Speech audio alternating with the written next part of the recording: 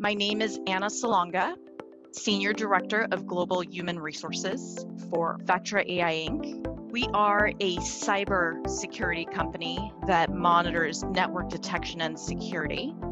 We selected Simon Shirley Advisors because they were highly recommended by Vistra, our global partner. We opened up our Dublin office in 2018. We needed partners to really help guide us, and Simon Shirley was the partner that was right beside us, giving us best in market benefit programs for the kind of business that we were starting in Dublin. They are not just a business partner to us, they are an extension of our family. We would not have been able to grow from three engineers to 43 employees in that site in two years without that trusted partnership and family relationship.